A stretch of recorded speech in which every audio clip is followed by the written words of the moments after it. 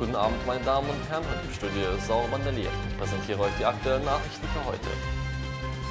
Der Präsident der Republik Aserbaidschan, Ilham Aliyev, ist zu einem offiziellen Besuch nach Turkmenistan gereist. Ilham Aliyev wurde heute vom Präsidenten von Turkmenistan, Gurbanguly Berdimuhamedov, auf den Unabhängigkeitsplatz in Aşgabat begrüßt. Im Anschluss an die Begrüßungszeremonie führten die Staatsoberhäupter einzelne Gespräche und erweiterte Beteiligungssitzungen durch. Der aserbaidschanische Präsident sagte, sein Besuch sei darauf ab, die Beziehungen zwischen den beiden Ländern weiter zu stärken. Gurbanguly Berdimuhamedov bedankte sich bei Ilham Aliyev für die Aufmerksamkeit, die der Entwicklung der zwischenstaatlichen Beziehungen, die auf der Tradition der Freundschaft beruhen, gewidmet wurde.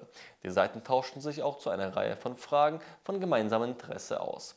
Später unterzeichneten die Präsidenten bilaterale Kooperationsdokumente und gaben gemeinsame Presseerklärungen ab.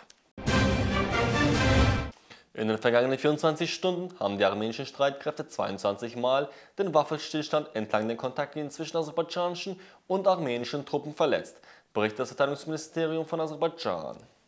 Moskau begrüßt ein mögliches Treffen der Außenminister von Aserbaidschan und Armenien am Rande des OSZE-Ministerrats, das am 6. Dezember in Mailand stattfinden wird sagte Maria Sacharowa, Sprecherin des russischen Außenministeriums, heute auf einer Besprechung in Moskau. Es ist jedoch das souveräne Recht jedes Staates, in dieser Frage eine Entscheidung zu treffen.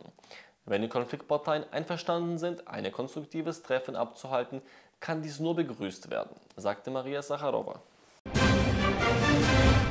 Der Vorsitzende der aserbaidschanischen Präsidialverwaltung Ramiz Mehdiev diskutierte am 21. November mit dem Sekretär des russischen Sicherheitsrats Nikolai Patruschew in Moskau über die rechtlichen Aspekte des Kaspischen Meeres.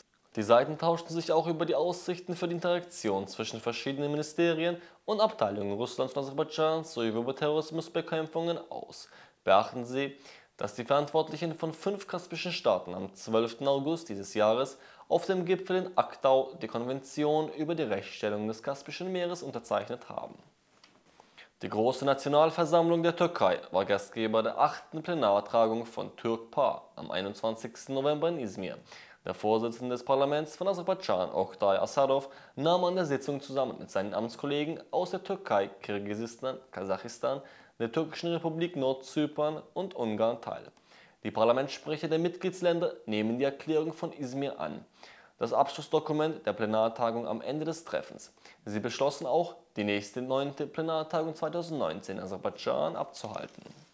Das war's, meine lieben Zuschauer, für heute. Morgen machen wir weiter mit neuen Themen. Ich wünsche noch einen schönen Abend. Auf Wiedersehen.